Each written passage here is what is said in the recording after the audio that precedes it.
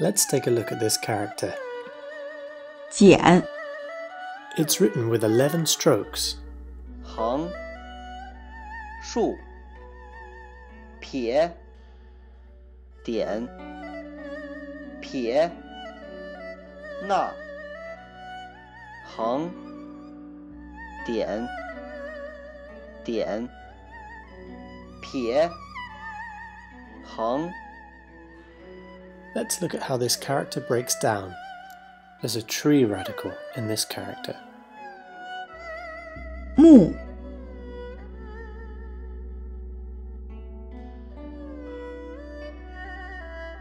Let's look at some examples.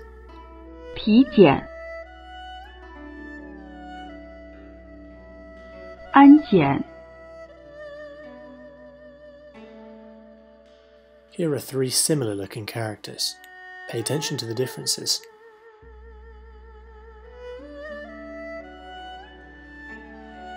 You can learn everything there is to know about this character in the trainchinese iOS and Android apps and on trainchinese.com. See you there.